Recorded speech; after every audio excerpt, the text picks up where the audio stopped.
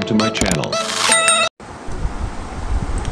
வணக்கம் எனக்கு அபி டிவி லைவ்ல நம்ம பார்க்க போகிறது நெல்லை மாநில அளவில் ஜூனியருக்கான இறகு பந்து போட்டி நடைபெற்றது. இதில் இறுதிப் போட்டியில் வெற்றி பெற்ற வீரர் வீராங்கனைகளுக்கு பரிசுகள் வழங்கும் நிகழ்வு நடைபெற்றது. அந்த வீடியோ தான் நம்ம பார்க்க போகிறோம் இந்த வீடியோ குறித்த கருத்துக்களை மறக்காம கமெண்ட் பாக்ஸில் பதிவு செய்யுங்க. வாங்க இப்போ வீடியோக்குள்ளே போகலாம். நெல்லை பாளையங்கோட்டை வஉசி உள் விளையாட்டு மைதானத்தில் மாநில அளவிலான ஜூனியர்களுக்கான இறகுப்பந்து போட்டி நடைபெற்றது. கடந்த பதிமூணாம் தேதி துவங்கிய இந்த போட்டியினை நெல்லை சட்டமன்ற உறுப்பினர் நயனா நாகேந்திரன் அவர்கள் கலந்து கொண்டு துவக்கி வைத்தார்.